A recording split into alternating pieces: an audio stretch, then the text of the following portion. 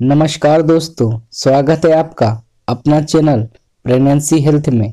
दोस्तों, आज मैं बात करने वाला हूँ, प्रेग्नेंट महिला को मीट खाना चाहिए या नहीं। तो मेरे चैनल को सब्सक्राइब करके बेल आइकन दबा दीजिए, क्योंकि प्रेगनेंसी और हेल्थ से रिलेटेड रोज़ाना वीडियो देखने को मिले सबसे पहले। दोस्तों, गर्भवती महिला को अपने खान पान को बहुत ज़्यादा ध्यान रखना चाहिए।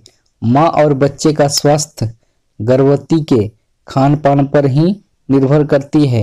इसमें थोड़ी सी गलत खान पान आपके और खासकर गर्भ में पल रहे शिशु के लिए काफ़ी नुकसानदेह हो सकता है। दोस्तों, गर्भवती महिला बहुत ज़्यादा टेंशन में रहती है कि मुझे क्या खाना चाहिए, क्या नहीं। उसमें से एक है मांस। अक्सर महिला सोचती है कि मांस खाना चाहिए या नहीं। दोस्तों, गर्भवती महिला को देसी अंडे का सेवन ज़रूर करना चाहिए।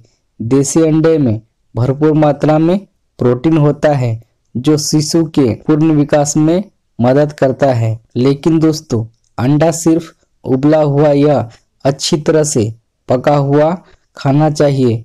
इससे शिशु के मस्तिष्क का अच्छी विकास होता है। कच्चे अंडे को बिल्कुल भी नहीं खाना चाहिए। कच्चे अंडा आपको और शिशु दोनों को नुकसान पहुँचा सकता है। दोस्तों, मीट खाना गर्भवती महिला के लिए काफ़ी फ़ायदेमंद होता है।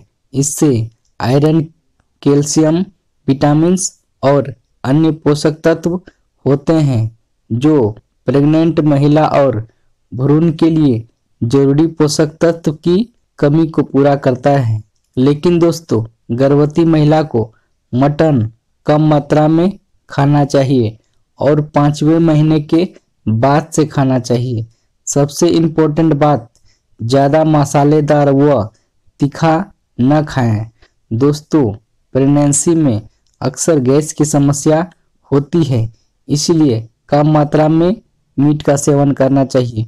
तो दोस्तों, उम्मीद करता हूँ ये वीडियो आपको बहुत पसंद आया होगा। तो प्लीज़ चैनल को सब्सक्राइब करके बेल आइकन दबा दीजिए और लाइक तो कर ही दीजिएगा। दोस्त व सहेलियों को व्हाट्सएप, फेसबुक पर शेयर कर दीजिए। वीडियो देखने के लिए आपका बहुत बहुत धन्यवाद।